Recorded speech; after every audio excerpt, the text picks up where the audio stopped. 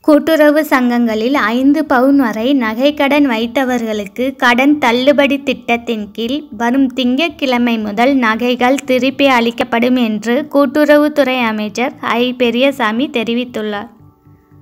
திமுகவின் தேர்தல் அறிக்கையில் கூட்டுறவு வங்கிகளில் ஐந்து பவுன் நகைக்கடன் தள்ளுபடி செய்யப்படும் என்று அறிவிக்கப்பட்டது.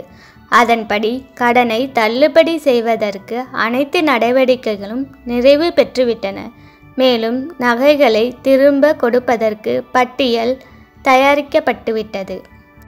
பட்டியலில் சில தகுதிகளின் கீழ் உண்மையான ஏழை எளிய மக்கள் பயன்பெறும் வகையில் நகைக்கடன்கள் ஒவ்வொன்றையும் விரிவான ஆய்வுக்கு உட்படுத்திய பின்னரே தள்ளுபடி என அறிவிக்கப்பட்டது.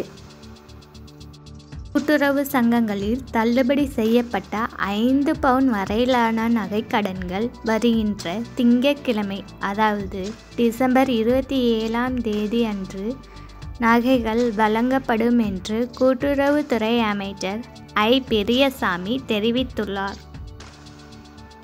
பல வருஷமாக ஏழை எளிய மக்களின் நகைகள் எல்லாம் பேங்க்கில் தாங்க இருக்குது அதுக்கு வட்டி கூட கட்ட முடியாத நிலமையில தான் மக்கள்லாம் இருக்காங்க. ஸோ தேங்க்ஸ் டு தமிழ்நாடு கவர்மெண்ட்டுங்க உங்களுக்கு இந்த வீடியோ பிடிச்சிருந்தா லைக் பண்ணுங்கள் ஷேர் பண்ணுங்கள் கமெண்ட் பண்ணுங்கள் பக்கத்தில் இருக்க பெல் பட்டனை ப்ரெஸ் பண்ணுங்கள் தேங்க்யூ ஃபார் வாட்சிங்